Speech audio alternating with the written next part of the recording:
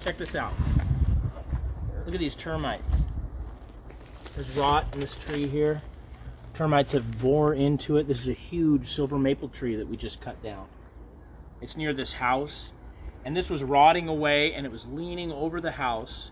And so we came in and we just systematically took it down and made it a whole safer situation. So now it's on the ground and we want to show you how we cut this thing down safely, this close to that fence and the house and all this stuff.